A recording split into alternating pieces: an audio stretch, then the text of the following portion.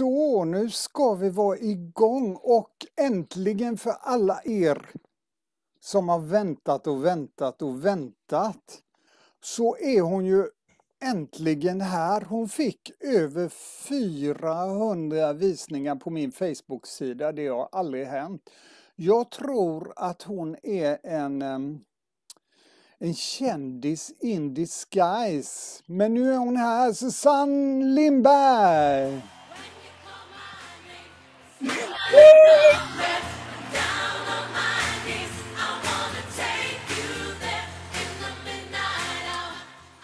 okay. välkommen till eh, Inspired You. Hur känns det? Det känns jättefint att vara här. Ja. Hej Uffe! Hej Susanne! Och det, det, roliga med dig är ju att eh, vi har aldrig träffats live. Vi har träffats på webbinar och vi har mm. samskapat. Mm. Men vem är du? Nu är vi mm. jättenyfikna allihopa. Vem är jag? Yes. Eh, ja, det, jag är väl någon slags eh, upplevelse kanske. Ja, det är ett jättebra svar.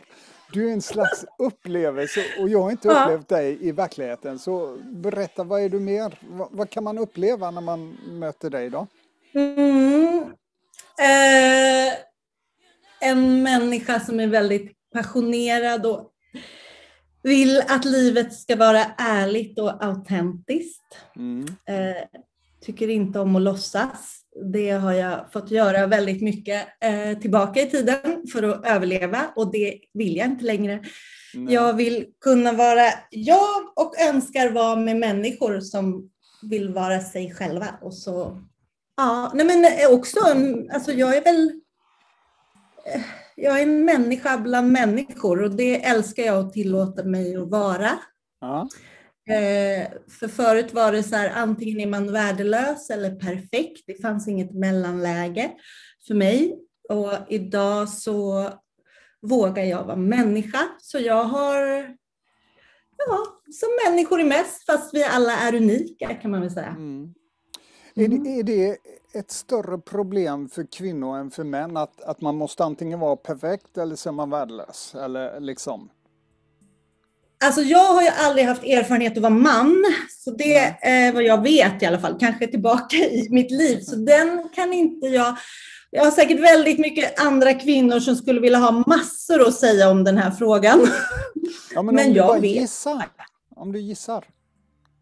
Du får gissa. Så här var det när jag var liten. Ja, men när jag var liten så tänkte jag, åh, om jag var kille, gud vad enkelt det skulle vara. Alltså jag ville vara kille, för jag tyckte mm. det var så jobbigt att vara tjej.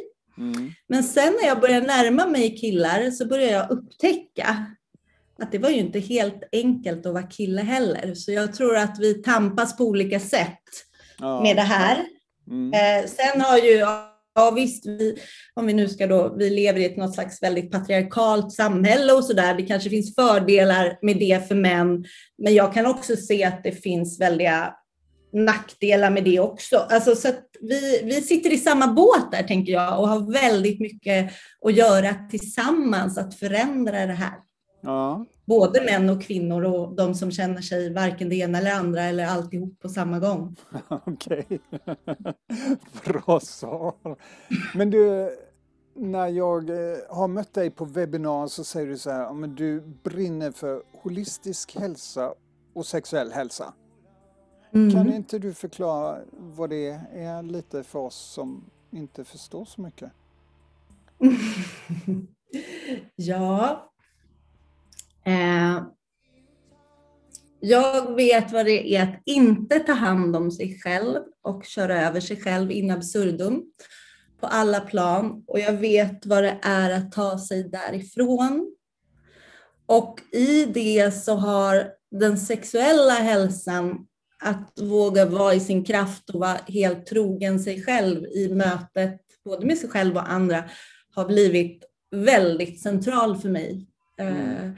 Så det brinner jag för och det känns jätteviktigt för mig att säga att jag är ingen expert.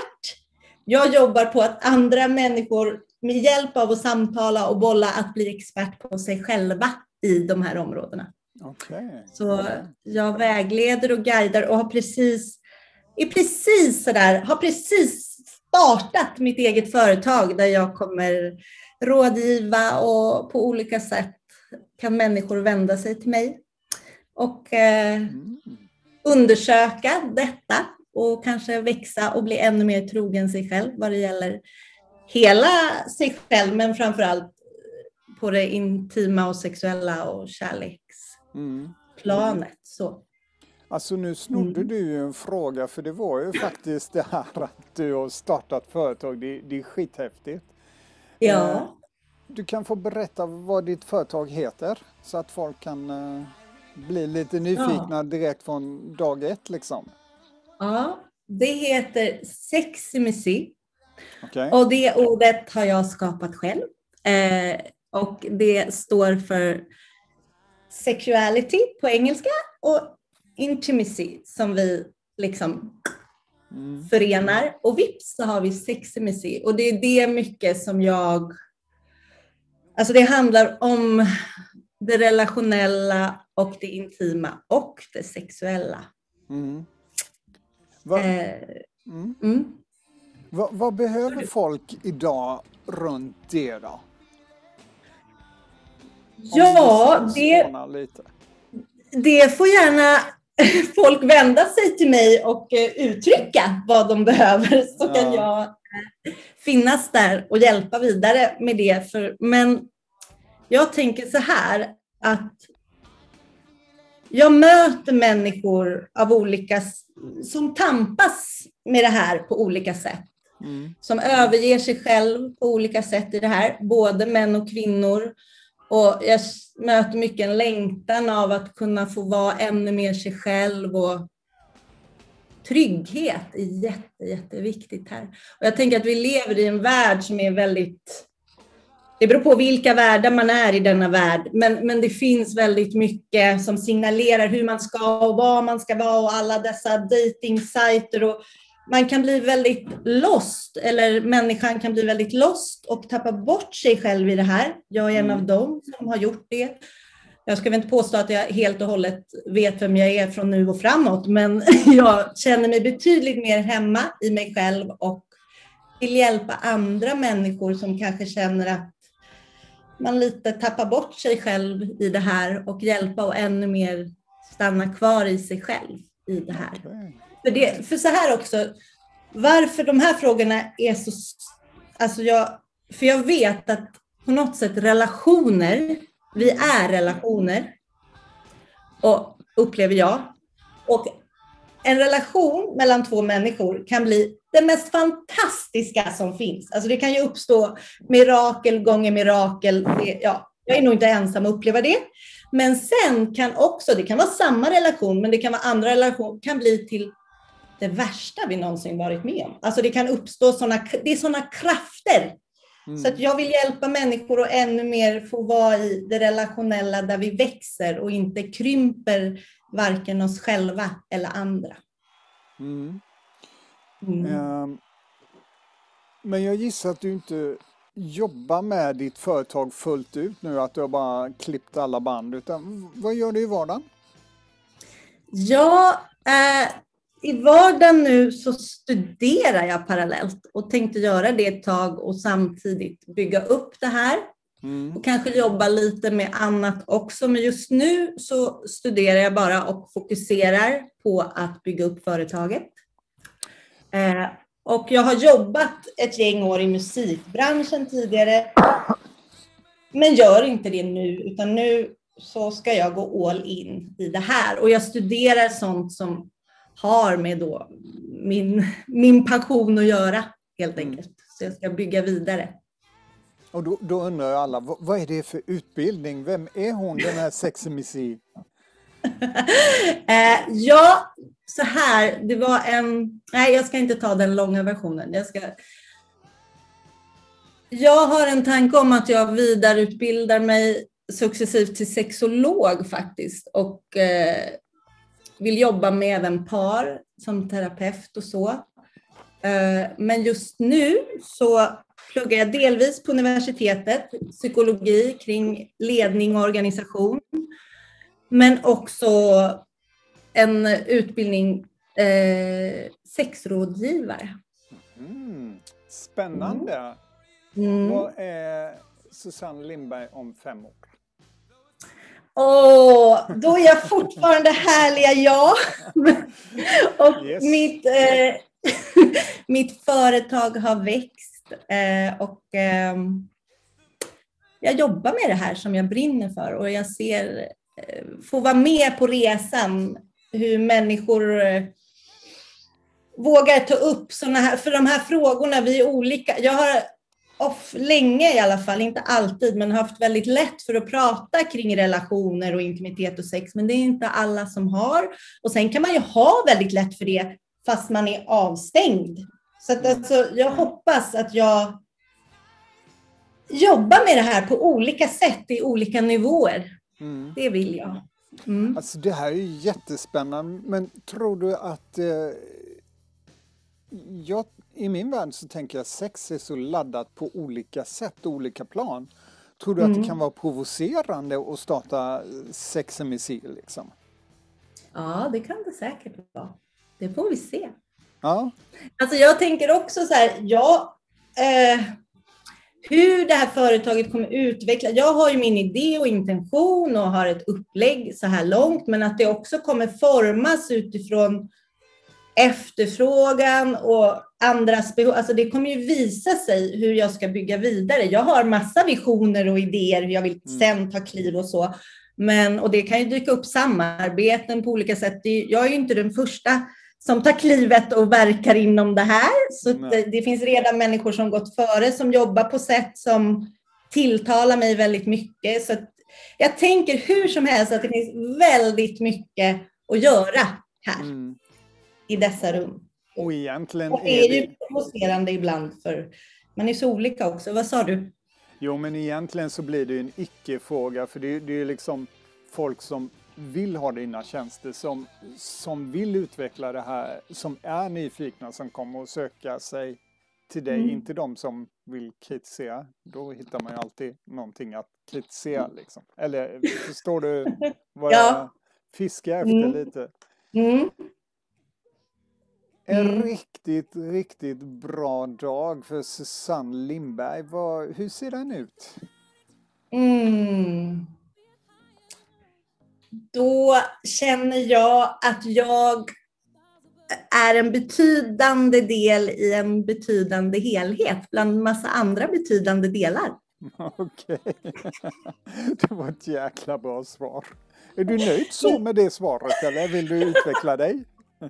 Nej, men det är flow. Det är flow liksom. Och händer, alltså livet är ju livet. Det kommer motgångar och man får veta saker som man önskar man inte fick veta. Och, men att jag liksom står i min kraft och i kontakt med tilliten till livet. Jag älskar när jag bor i ett tillitsfullt förhållningssätt.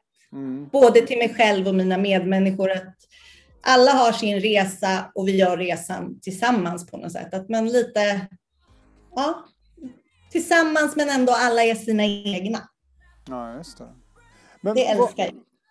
vad hittar du den kraften att, att stå i din mänsklighet, din kvinnlighet, i, i dina drömmar? Vad, vad hittar du kraften någonstans?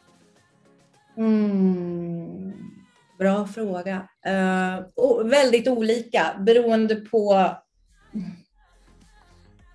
Jag tror mycket handlar om vad, vad, alltså jag, vad jag, jag vet vad det är och inte... Att, alltså, jag vet vad det är att inte vara i kontakt med sig själv och sin kraft. Så jag på något sätt nu, nu, nu, har lärt mig att navigera på så här skiftet. Jag känner av väldigt så här, oj, när där så det handlar igen om det här att vara trogen med vad som funkar för mig och Mm. släppa andra. Mycket så här, inte gå in i andras grejer, men kunna finnas för andra, men inte bära andra. Okej. Mm. Men, men vad, vad är det som provocerar dig då? Alltså jag menar vi lever i en värld där det pratas vaccin, det pratas covid, det pratas ska man demonstrera. Vad provocerar dig? Ingenting. Nej, jag skojar. Eh, Det funkar inte så. Ja. Nej. Försök inte lura med bruden. Är inga konstigt så. Mm. Nej, någonting jag har väldigt, väldigt svårt för, det är när andra ska komma och berätta för mig vad som är sant för mig. Alltså då, då är det bara backa, backa, backa. Och därför försöker jag också undvika att berätta för andra vad som är sant för dem. Ja. Men om jag kommer och säger... Men den är inte helt lätt. Alltid. Nej, om jag kommer och säger men Susanne du gör helt fel saker. Hur blir du? Slår du folk eller, eller exploderar du eller hur, hur tar det sig uttryck? När du blir riktigt arg, förbannad. Uff.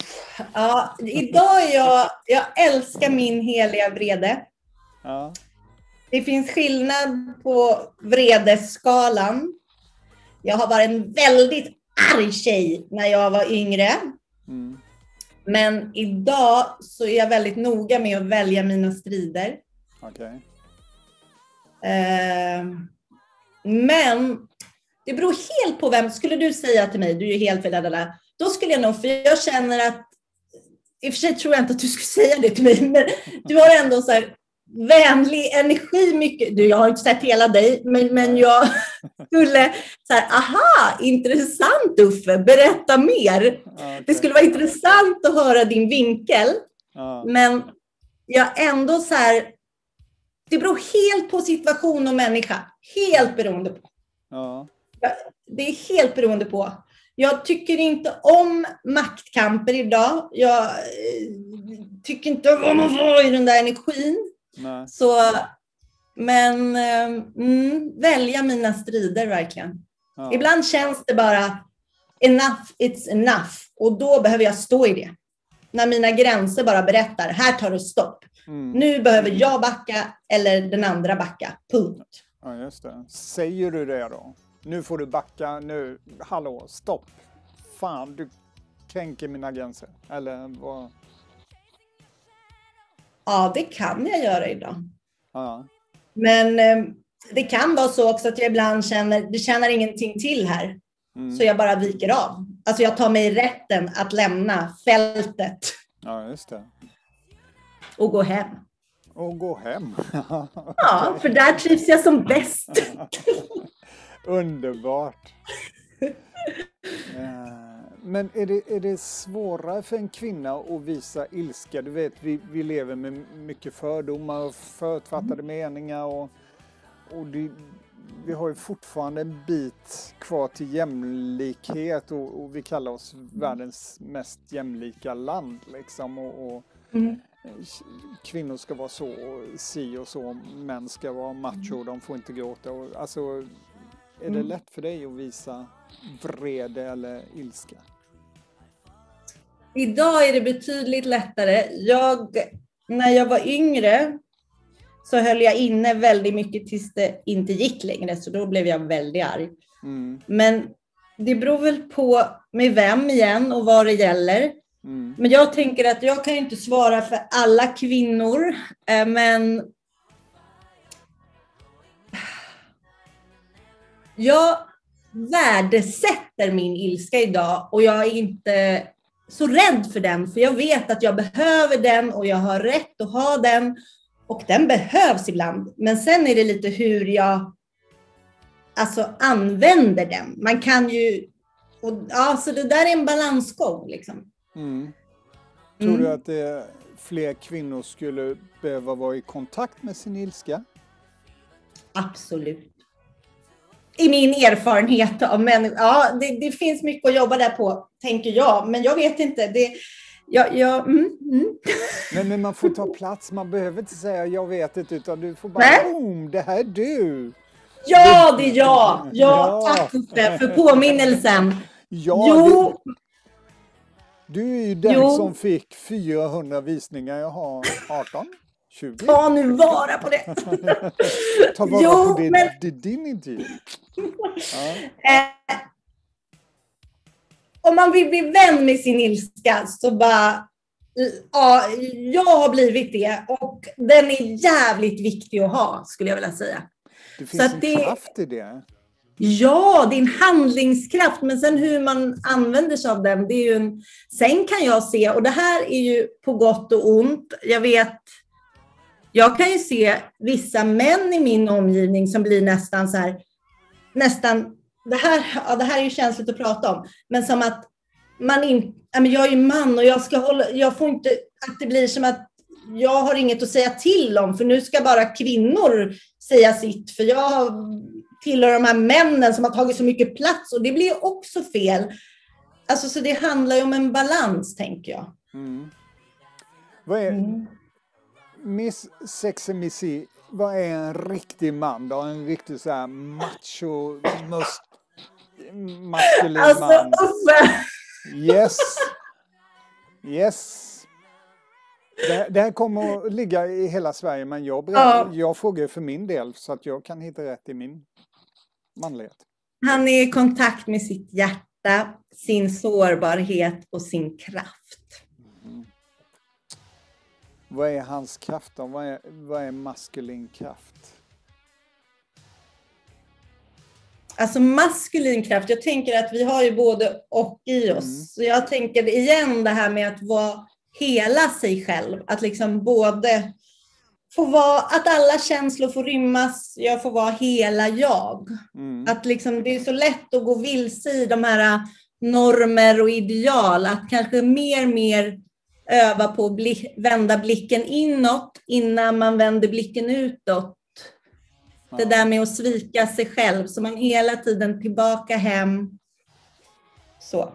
Ja. Mm. För jag, i mina sammanhang så, jag har ju varit med i manscirklar och jättemånga mm. män är vilsna idag. Det finns en mm. urkraft i det här men vi är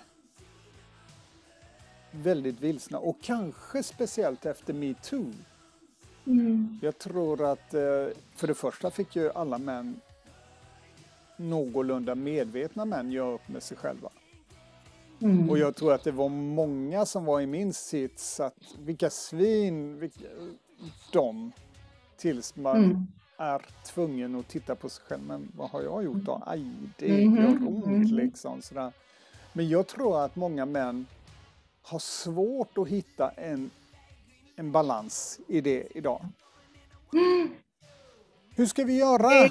Ge oss ett tips. Från, hur ska vi göra? Ge oss ett tips från ditt feminina perspektiv, även om vi är både feminina och maskulina. Oj, oj, oj. Tack Uffe.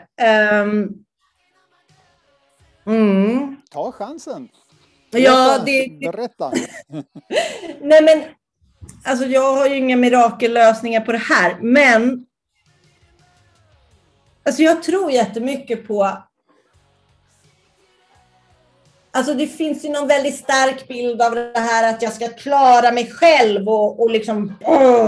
mm. så här, mm. Hjälten finns ju liksom kvar fortfarande. Det kan ju även kvinnor, hjältinnan, så här. Det här att våga be om hjälp.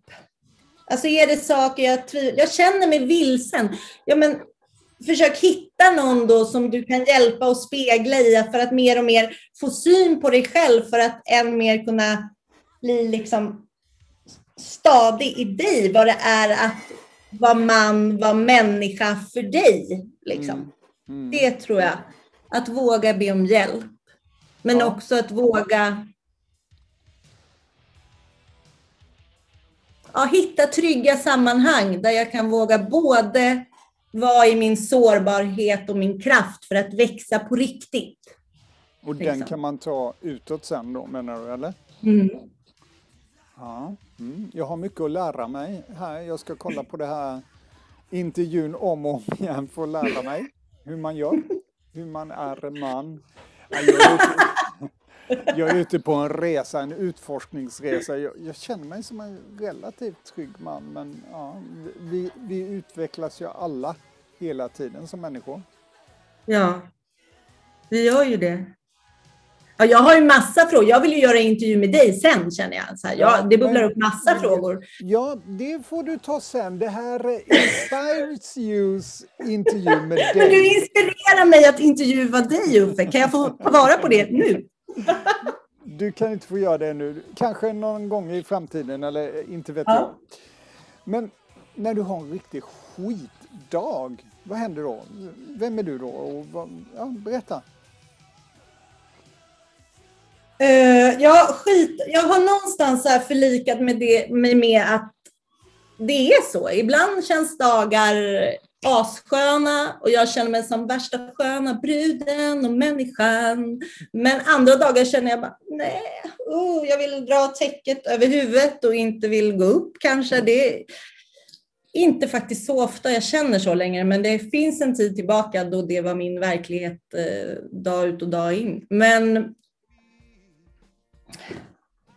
då vet jag förut så var jag på gott och ont väldigt självcentrerad. Om jag hade en riktigt dålig dag, då började jag slå på mig själv. Allt var mitt fel. Ah, det, jag började liksom, ah, nej, och det nej, nej, nej, nej, nej. Men idag vet jag, nej, nej, nej, det där är en gammal ramsa, en gammal skiva, den kan vi, jag orkar inte, sätt på en ny platta. Och när det är en riktig skitdag, det beror ju på vad som har hänt och vad så här, Ja, då är det ännu mera självkärlek. Då är det bara så här, kärlek, kärlek, ännu mera kärlek. Jag är varken roten till allt ont eller allt gott. Det är okej att vara människa, det är okej att vara Susanne. Ibland känns livet jäkligt bra. Och, men det kommer gå över, det vet jag idag. Att livet liksom, det rör sig, det dansar. Stå inte bara helt still, utan men det får väl gå långsamt idag. Det får väl vara lite bara "Ugh", idag. Det, så kan det vara. Det är ja. också att vara människa. Nu kommer den svåraste frågan.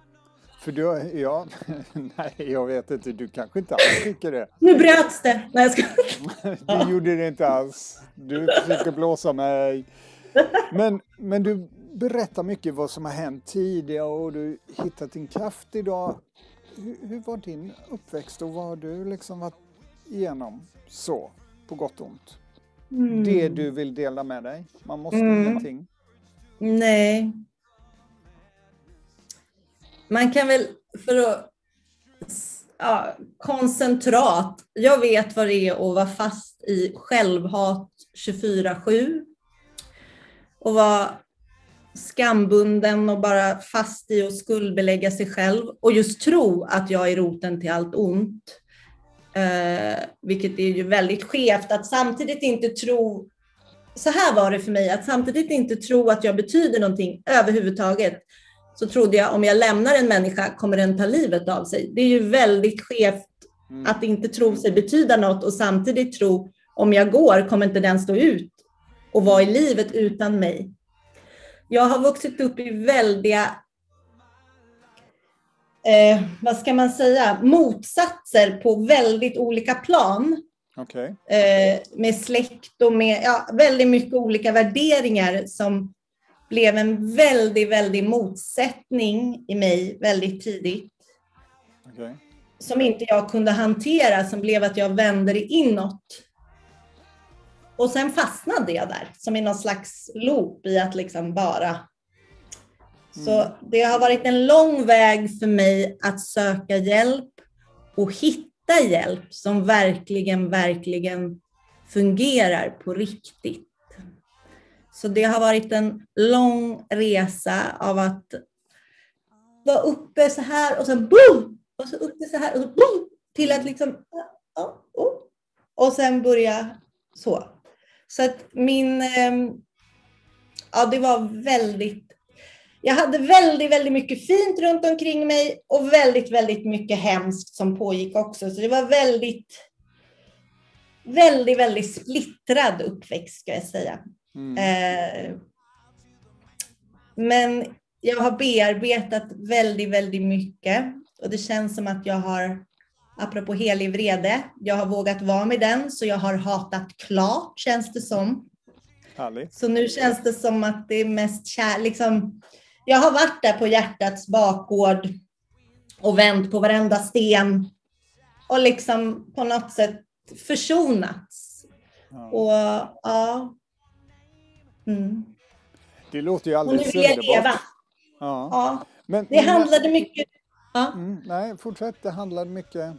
det handlade mycket om att överleva och stå ut. Uh, och idag på något sätt så... Jag vet att när jag var liten, när jag frågade mamma vad hon drömde om, då sa hon, nej men jag tycker det är bara så underbart att vara med. Jag var tonåring då och jag bara, alltså, har du inget roligare att komma med? Vadå, bara, har du inget större? Har du inget mer? Och så har jag kommit på mig själv ibland så här, nej men gud, det är bara så härligt att vara jag och finnas till. alldeles, alldeles underbart. Back to basic. Ja. Ja. Men, mm. men kom du till någon punkt, eller har du varit vid någon punkt i livet där du bara liksom, enough, nu måste jag börja utvecklas, eller det här klättrandet som du pratar om. Fanns det någon sån eh, specifik punkt i ditt liv? När du bara, jag vill framåt, vidare, eller? ja, det, de är ganska många faktiskt. Okej. Okay. Ja, de är ganska många. Men en, en punkt var när jag, utan att gå in mycket i detalj, så jag uh, hade gått i mycket sån här pratterapi. Mm. Prat, prat, prat. Inget ont om prat. Uh, men jag kände bara att det spelar ingen roll. För de sa, du är så smart och du är så duktig. Och du... Jag bara, men det spelar ingen roll. Jag går ju och hatar mig själv hela tiden i alla fall. Och det blir ingen förändring. Jag klarar inte av. Så jag bad dem att få någonting annat. Och då tittade de på mig och undrade, jaha, vad ska du ha då då? Mm. Då sa lilla jag, jag vill ha dansterapi eller, mm. eller något åt det hållet. Och då sa de, nej men det kan ju inte vi erbjuda här inom landstinget. Mm. Då sa jag, ge mig lite tid så ska jag hitta någon. Och så hittade jag någon. Och så fick jag via landstinget faktiskt, det var ju beundransvärt på den tiden. Jag fick, och kanske på nu också då, jag fick dansterapi betalt, enskild dansterapi i två år. Det låter ju alldeles jävla underbart. Okay. Ja. Så det var en jättevändpunkt. Då var det på något sätt som att jag hade haft väldiga trust issues med vuxna framför allt som skulle hjälpa. Då var det på något sätt att jag bara kastade mig ut. Det var som att it's now or never. Nu, nu, nu livet, nu hoppar jag, nu kommer jag. Eh, och då var det som att jag flyttade in i min kropp på riktigt. Ja. Och så dansen är någonting, dansen, andningen, är en väldigt, väldigt viktig del för mig i mitt sätt att jobba. Så för mig, samtalet, ordet, det är jättebetydelse också. Det vill jag inte förringa. Men att verkligen få ihop den här halvmetern, hjärta och huvud, det är väl mycket det jag jobbar med. Att liksom, ja. här. Mm. Sen är det andra, jag, alltså det är många vändpunkter där jag på något sätt man kan väl säga att jag har haft mina stunder, vid, alltså när det var, jag var en väldigt stökig tonåring som mådde väldigt dåligt och även i ung vuxen. Mm. Så att jag övervägde väl om det var läskigare att stanna kvar i livet än att skita i det. Så det har varit några gånger där jag har liksom... Men så har det kommit vändningar som har gjort att jag har valt livet igen. Mm. Och det, är, det känns lite som jag har fått en andra chans. Alltså, och den vill jag inte missa. Underbart. Underbart. Eh, mm. Jag vet att du har en dotter och mm. jag gissar att det är det bästa som finns i ditt liv. Mm. Eh, förutom din dotter, vem är riktigt, riktigt viktig för dig? Oj, oj, oj många. Ja, du får Min bara säga en. Ja. Oj, bara en! Ja, du får bara säga en, för jag fattar att det är många. Mm. Du måste välja en. Ah, ja, men då, ja, men då säger jag min partner här och nu. Berätta om alla andra som är viktiga. Min lillebror. Eh, vänner. De är, åh, jag har själs stränder. Jag har en människa som var min partner länge, men sen valde vi att gå olika vägar. Han är absolut en bästa vän idag. Och, ja, de är så många. Och det, det är så stort att Ja, och changemakers, bara det. Vårt, vår familj, bara det liksom. Nej, men det, mamma, pappa är superviktiga idag. Alltså jag har jättestor släkt, ganska crazy på sina sätt, men helt, och jag älskar att jag är en del av dem. Eh, så att det finns väldigt många. Och det är, jätte... mm. Fortsätt. Fortsätt. det är jätteviktigt för mig att våga vara betydelsefull för andra idag och våga låta andra människor få betyda. Mm. För det har någonting, jag har det här med att komma riktigt nära och bli rädd för att bli övergiven, inte få vara med och allt det här, bli utstött. Jag har massa mönster från... Ja, eh, men att höra till och ändå få vara min egen, det, det, det är liksom... Det är så viktigt och att jag vill bidra med det med andra också, alltså till andra. Mm. För att stå själv ensam är stark, den tror jag inte ett skit på. Den har jag prövat. Det går åt helvete varje gång, så jag hoppas innerligt att jag har prövat det klart. Så det är viktigt att få höra till och samtidigt känna att jag får vara jag och mm. tillåta andra få vara sina egna också. Det är också en konst. Det är inte alltid helt lätt. Alla mm. gånger. För vi är väl flockdjur från början, liksom individuella och flockdjur. Mm. Och det, där, det där sitter ju så djupt, det sitter ju sen, sen vi bodde i grottorna liksom. Mm. Att ingen klarade sig själv och jag tror att att det inte är sunt i dagens samhälle även om man mm. klarar sig själv. Man behöver vänner, man behöver nätverk och, och sådär. Mm. Den är super, super viktig. Mm. Super, super, super viktig. Vilka är dina role models? Var hämtar du inspiration från? Alltså jag har inga specifika sådär, alltså när jag var yngre hade jag ju idoler och sånt där. Musik har alltid varit så här, åh, jag, ibland har jag känt som jag har varit mer bästa kompis med vissa artister än med verkliga människor. För att det, jag, med identifikation och komma åt, jag är väldigt känslomänniska och sådär. Men överhuvudtaget, i, alltså i litet som stort, jag älskar original. Okej. Okay. Och vad är det då, kan man ju undra. Ja, det kan man undra. Men människor som kör, gör sin grej. Och inte ber om ursäkt för det. Ja. Jag Absolut. övar på det själv. Ja. ja, men idoler kan man väl ha som vuxna eh, också, eller role models? Ja, gud ja. Ja, du är ja. min idol. Så. Ja, ja, absolut. Ja, Tack detsamma Uffe. Men du, ja. Mm. har du, har du något sånt här råd som, eller inte ett råd utan eh, någonting som um, Ja, ett råd som du har fått eller något ord eller någon mening som du har hållit i, i hela livet att det här, det här är så viktigt för mig eller någon som har sagt någonting eller att du har läst någonting eller Ja, det är, de är många också. Jag skulle vilja, när du säger det, jag skulle vilja göra en tapet med alla de här. Åh, det ska jag, ja, där har vi något. Eh, men bland annat den här, jag vill inte passa in, jag vill passa på. Vem säger det? det var från Cecilia Frodes föreställning Ängeln för, för väldigt många år sedan. Okay. Så den har följt med. Ja. Eh, och sen, eh, ja, Be the change you want to see in the world, den är ju fantastisk. Det var ja. väl Gandhi, något åt det hållet va?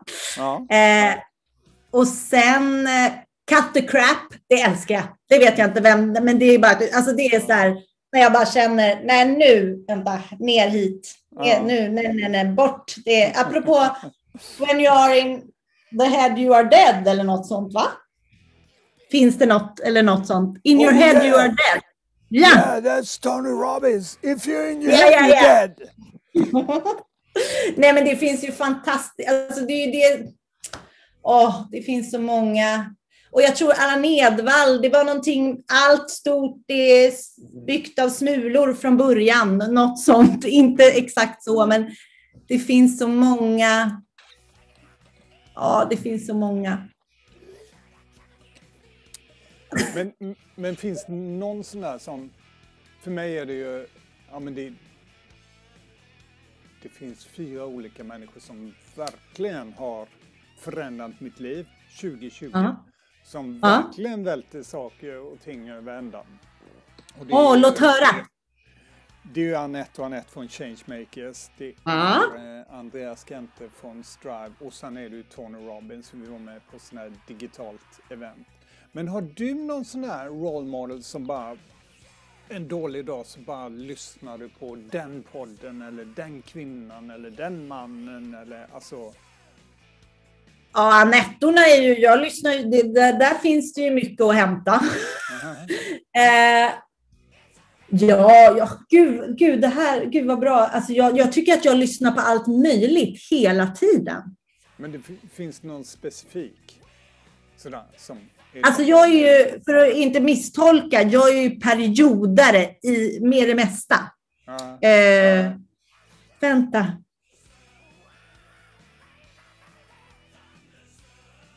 Nej, inte... Alltså, åh, det, de, fin, jag får återkomma. alltså, men det är väldigt mycket för mig, för att jag ska komma i kontakt. Liksom, så jag mycket. Jag, är, jag brukar säga att jag är en mood-lyssnare med musik. Mm. För mig är det mycket så här, åh vänta, vem behöver jag? Så egentligen kanske det inte är så mycket människor som föreläser och sprider. Det är mycket musik och artister. Vilken energi behöver jag nu? Mm. Där, och där finns, det är det jag älskar så mycket med, med varför dansterapin kom att bli. För där kan man ju, musik har varit en röd tråd i hela mitt liv och då kan man plocka upp så här, ja men den här musiken lyssnar jag jättemycket när jag var i det här gänget eller med de här eller den här relationen, herregud vi lyssnar jämt på det här. Alltså det är en fantastisk källa att få fatt i delar av sig själv Ja. när man inte riktigt får kontakt. Så mycket musik. Ja. Sjunger du? Jag älskar att sjunga. Och nu ska vi få höra Susanne Lindberg sjunga någonting. Du får välja själv. Hur modig är du? Hur står din kraft? Ja, då kan jag göra så här. Du är så fin, jag förändrar dig aldrig. Du är alltid fina så. Fördjupa dig alltid, för om du gör så så ska du finna ro. Ja, följ detta råd så ska du finna ro. Wow! Ove. Wow, Susanne Lindberg! Men den var inte min egen, men eh, det var den som kom. Eh, alla ni som tittar på den här intervjun kan gissa vem det är. Jag vet vem det är. Ni kan få skicka in ett svar till Inspire eller så vinner ni en gratis coaching med Susanne. Nej, inte vet jag. Jo då, kom Eh, till mig bara. Kom! Ja, På riktigt. på riktigt. Vad är det bästa råd du har fått i livet när du verkligen behövde det? Åh oh, gud, tack för den. Mm. Oj, oj, oj. Det är igen, alltså det finns ju så mycket änglar där ute eh, på två ben utan vingar, eller man ska säga. De har ju kommit. Ja. Eh, oj, oj, oj. Ugh.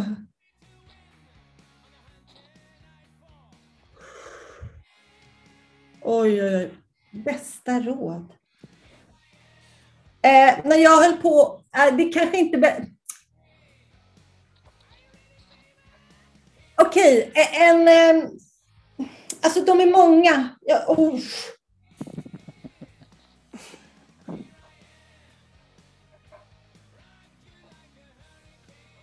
Ja, här Susanne Eller hör jag låter i bakgrunden? Nej, det är lugnt. Du får take your time. Alltså... Vänta. Vill du ringa en kompis? 50 Ja, jag måste ringa en kompis. Jag måste ringa en kompis. Eh, nej, men jag har fått väldigt många. Eh, jag är inte lika benägen att söka råd längre. För förut var jag sådär, det är någon annan som vet vad som är det rätta för mig och sådär. Mm. idag är jag nästan sådär lite allergisk. Om någon kommer och säger jag vet det rätta för dig, då är det bara så här, spring. Alltså, det är lite så här. Så att, Mm. Men människor som säger saker från hjärtat till mig när det som allra, allra mest behövs, när jag inte... För det finns perioder då jag har gjort mig så extremt onårbar. Mm. Alltså att det liksom, jag når inte mig själv och andra når inte mig. Och den är jobbig. Så de människor som har lyckats, här, som inte har gett sig, som bara Susanne, vi vet att du finns där inne. Vi går inte på att du liksom, vi vet, det finns någonting annat. De som har vågat bredvid mig när det har varit som tuffast, så här, Mm. det är visst idé Susanne. För jag har haft ett mönster av, jag hade nästan som ett mantra, om nu ska vi prata historia då, att det är ingen idé. Det är ingen Mm. idé, för jag är fel och jag gör bara fel. Mm. Och det här, det har funnits ett gäng. Jag är så tacksam att jag ändå längs vägen har kunnat haft förmåga och ändå, och det har funnits runt omkring människor som, det har connection, liksom. Okej. De bara, det är visst idé Susanne, det är visst idé att resa sig upp igen. Det är visst idé att säga ja till det som är sant för dig. Det är visst idé att ta små, små steg, även om det känns som helt meningslöst just nu. Men det är det det bygger på liksom. Så det är mycket så. Mycket så. Eh, och jag, jag fick, det såg jag som, det inte men jag, blev, jag kände att jag var verkligen på rätt väg när en relativt ny eh, vän till mig via Changemaker sa till mig Åh Susanne, det är så himla skönt med dig, för med dig känner man att man kan göra bort sig. Mhm. Och då kände jag, wow, vilken komplimang! Wow, då har jag kommit en jävla bra bit på väg. Så, ja, kom till mig och gör bort er. Hjärtligt välkomna. Okej, underbart att du bjuder på det. Ja. Vilken var din lyckligaste dag i livet? Åh, jag önskar ju att jag hade så här, bam! Alltså, men jag, alltså, det finns ju så många lyckliga dagar så jag...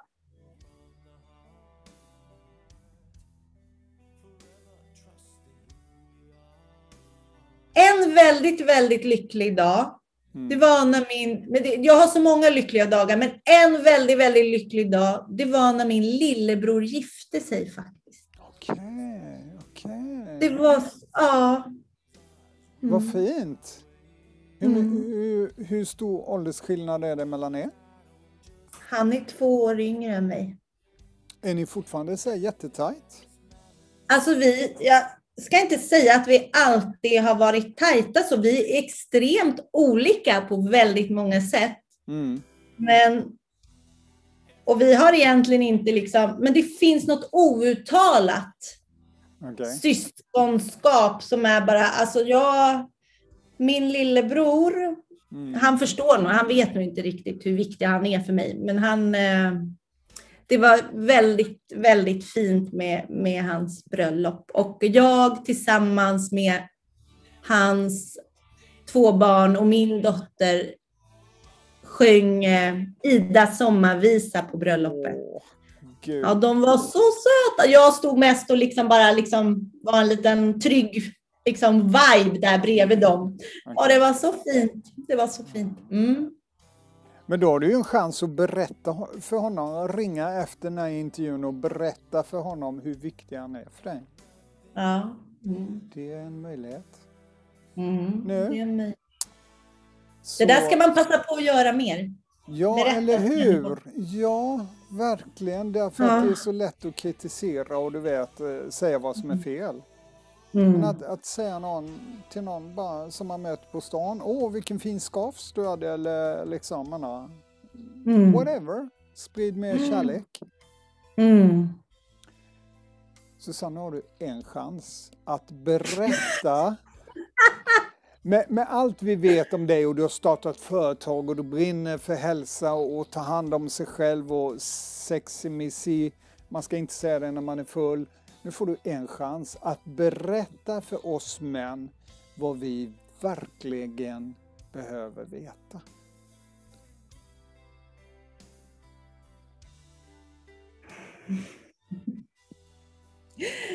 Ni vet redan om ni lyssnar riktigt, riktigt noga.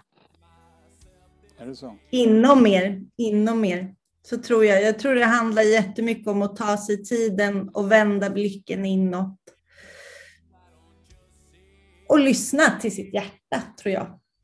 Och det gäller ju kvinnor också. Alltså, vi är ju människor. Mm. Komma ihåg att vi, vi är människor. Sen eh, är du är en så kallad manskropp och jag är en så kallad kvinnokropp. Och eh, ja, men den där är svår. Jag vet. Eh, ah. Var här. Alltså var här. Inte där, utan var här. Här. Kontakt. Våga kontakt. Och känner du att du inte riktigt får kontakt med dig själv och andra på riktigt, så be om hjälp. Våga be om hjälp och ge dig inte förrän du hittar en hjälp som du känner, den här är på riktigt. Det här funkar för mig. För det handlar om att du ska liksom känna att du lever ditt liv på riktigt. Ingen annans liv. Ditt liv. Mm. Wow!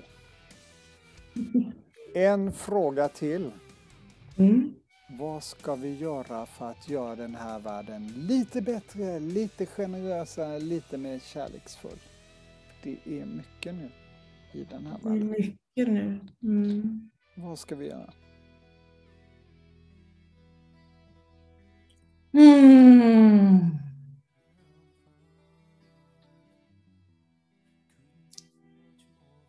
Våga andas djupa andetag. Mm. Är det allt? Behöver vi inte göra mer? Nej. eh, nej men. Alltså det här i vardagen tror jag. Att, att hjälpas åt och se varandra i vardagen. Sen är det ju svårt det där hur vi är så olika. Jag tycker för mig är det här en övning, det som pågår med covid-19 och sådär. Det finns ju väldigt mycket åsikter och väldigt mycket, det är egentligen, i alla fall jag, jag vet väldigt lite egentligen. Alltså, man, jag får höra jättemycket information från olika källor, olika håll. Att acceptera att vi människor har olika åsikter och olika upplevelser. Det här triggar olika i oss. Och där tror jag ja, att hjälpas åt. Att liksom det här är en tuff tid för alla på olika sätt och kanske ännu mer be om kraft och vara ödmjuk, både inför sig själv och andra. Och hjälpas åt. Mm. Ja, det finns ju mycket, mycket, mycket mer, men vad säger du då, Uffe? Ja, det är jag som intervjuar. Det är jag som intervjuar. Men nu, jag behöver hjälp. Jag ber om hjälp. och dansa. Vi behöver dansa mer. Vi behöver liksom... Åh! Och vi behöver mm, beröring. Vi behöver komma ihåg att vi är människor, vi lever här och nu. Även om olika reagerar med covid-19 och situation, det, det är en jättemärklig tid så behöver vi komma ihåg att vi lever nu och li livet för oss som får möjlighet att leva här och nu, att ta vara på det. Alltså, jag tror inte du behöver någon hjälp överhuvudtaget. Tack så hemskt, hemskt mycket Susanne för att du var här och delade med dig. Du hänger kvar en stund till, men för alla andra som eh, kollar på den här intervjun, alla tusentals människor där ute, så säger vi hej då! Tack!